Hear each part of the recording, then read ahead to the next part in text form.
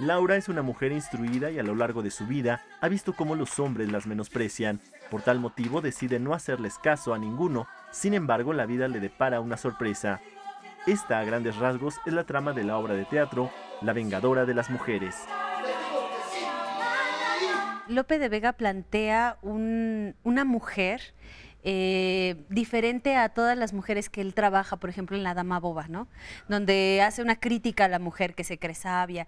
Esta mujer realmente ha leído, está este, instruida, sabe lo que, lo que dice, su argumento es muy, muy poderoso.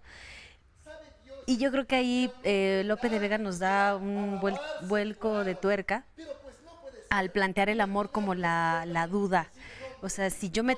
Eh, hay una pregunta que dice Lizardo, yo tengo que dejar de ser para querer a Laura, ¿no? Para, para poder aspirar al amor de esta mujer, tengo que dejar de ser hombre porque ella los odia. Y es una cosa que, más que crítica, él plantea el, el, el, amor desde otro lugar.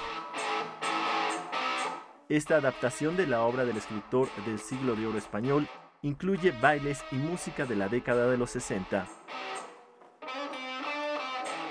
Decidimos eh, plantear en, el, en a finales de los 60 porque justamente es en ese tiempo cuando empieza este movimiento feminista, empiezan los, los movimientos eh, de revolución social, ¿no? que nos empiezan a dar como una idea de igualdad ante como seres humanos y que en este texto de Lope de Vega hace un planteamiento ¿no? de, al respecto.